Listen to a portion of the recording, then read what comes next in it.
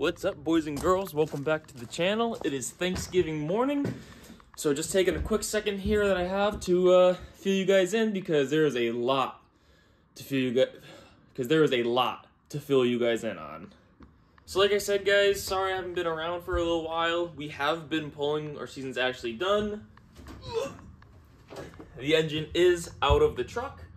I have just been super busy with my actual job. I run a business, and I'm the only guy there. And between that, just trying to be on top of the pulling truck, work was super busy.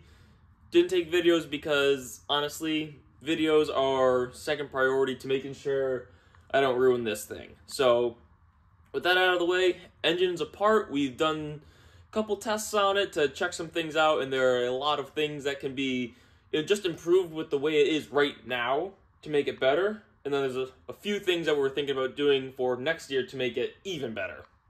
So we'll leave that at that. Then if we swing around here into the trailer, you'll notice it's the cleanest it has ever been. So I got one thing to show you before I show you the new trailer. No hiding it. New trailer. It's the best trailer ever. It's my favorite. It is my dream trailer. I am so excited to show you guys this thing. But first, we got something else I gotta show you. So I've got no real reason to get rid of this trailer. This trailer has been fantastic to me. We've taken it up to Maine, down to Pennsylvania, all on these same uh, G tires. Once we put the new tires on, it had been absolutely bulletproof. The trailer's been awesome.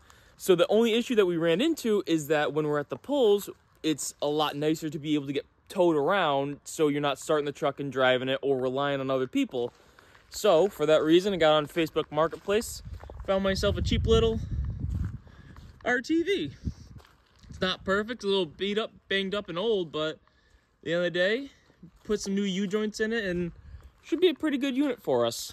So we were able to actually use it at a couple of the last pulls because my dad has a uh, a 40 foot trailer too, but his truck is two feet shorter than mine because he's a mod truck. So we've been able to put this in his trailer and then tow his truck and my truck around, and it's been actually fantastic. So, with that being said, the rough math was going to be that my 40 foot trailer, with my truck being two feet longer than my father's, I only needed like a 42 or 44 foot trailer. So, just like the Kubota, went on Facebook Marketplace and just looked around and waited until a trailer came up, and this is what we came up with. 44 foot freaking trailer, boys. It is unbelievable. It is so big inside. I bought it pretty much sight unseen. Went out there, we drove 13 hours to Indiana to pick this bad guy up. It is everything that I've wanted. It is, let me go get it plugged in so we can turn the lights on, but it's Joe. All right, so we got the trailer plugged in, so we'll bring you in through the side door. Got these beautiful, nice wide double doors. Come in here. First thing you'll notice is the second floor on this bad guy. Turn the lights on. Front neep area. So it's a 13, it's a big trailer. It's 44 feet long and it's 13 feet tall. So here I am standing above the kingpin and I'm I'm six foot four and there's still tons of room above my head. Come back over here. This is the second floor.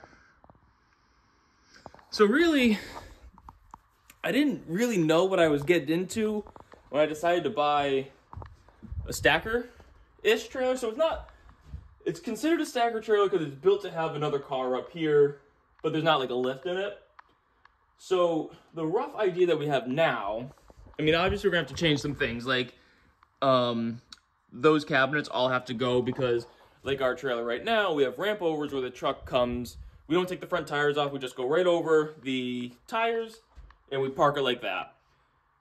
So then the next problem we ran into is putting the Kubota in here. We could put the Kubota in this area here if we wanted, but we have all this area up here.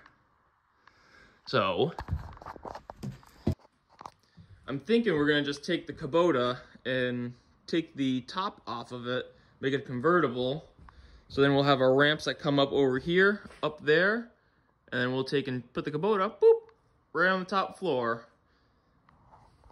by my fuzzy math, it should fit really tight up there and be pretty good. So we'll be able to, in theory, have the Kubota up there, the truck back here, and even if we had a tilt body, we could like lift the body while we're in here, and then we'll still have this entire workspace area. I mean, it's got some wicked nice, like, you know, it's got the race race cabinet, you know, the race car trailer cabinets, whatever. Now that I see them, I could definitely build them. I got the hardware, but super simple. But yeah, this is just like a this is a dream trailer for me. I've always loved the top fuel trailers and how like they're all inclusive. You can work on the entire vehicle out of one trailer and like this is just a lot of space. So it's more space than we honestly need, but you know, when you're buying used, you don't really have a whole choice and I got a what I believe is a reasonably good deal for a trailer this size. So with that being said, we got to do some moving around. We got to move these cabinets uh, probably gonna take that thick cabinet, which is for, uh, it's pretty cool actually. They, they must have just carried spare axles or something. So we'll probably just put some wood on that, put those shelves up here, and just, just play around with the trailer. I mean, we have a whole lot of split space to play around with. It's more than we need, so it just gives us a chance to, gives me a chance to be very organized, clean, and just be on top of my stuff because I just want life to be easy when we go pulling because it's hectic. I want to make it as simple as possible. And if I make it simple, it makes it a little bit easier to make videos for you guys, which I enjoy doing. It's just priorities. Truck comes first, business comes first, family comes first. You guys are at least fourth, fifth, sixth, somewhere down there. So probably to end it off there. Thanksgiving. We'll uh, keep you guys updated probably. Maybe give you guys a mid-season update if we're doing anything fun. But other than that, thank you guys for tuning in, and uh, can't wait to show you the final product when we're actually loading this thing in here. So it'll be a good off season. Catch you guys.